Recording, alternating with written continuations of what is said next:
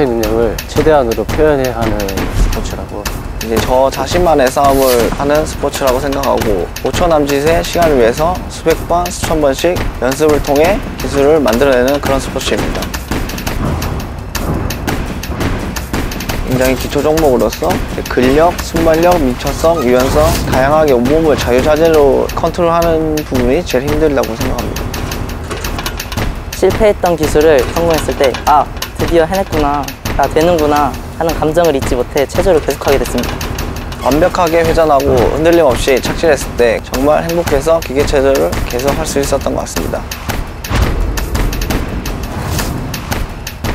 호수고 건설 체조단은 국내에서 유일한 기업 소속 남자 실업팀이기 때문에 자부심을 가지고 팀을 운영하고 있습니다.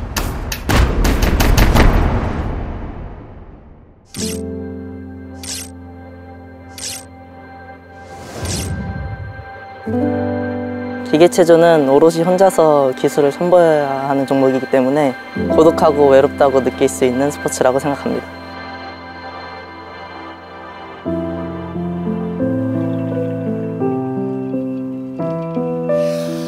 고독한 훈련 과정을 늘 받쳐주고 내가 넘어졌을 때 다시 일어설 수 있게 하는 사람들, 동반자 같은 존재입니다. 좋은 기술을 더 많은 사람들에게 보여주고 싶고 많은 사람들이 기뻐할 수 있다면 제 개인적으로는 가장 큰 행복입니다. 이 팀에서 이름이 남을 수 있는 선수가 되고 싶습니다. 꿈이 없으면 이룰 수 없고 노력하지 않으면 얻을 수 없다고 생각합니다. 저 개인 그리고 우리 팀 나아가 한국 체조를 위해서 열심히 도약하는 선수가 되는 게 제 꿈입니다.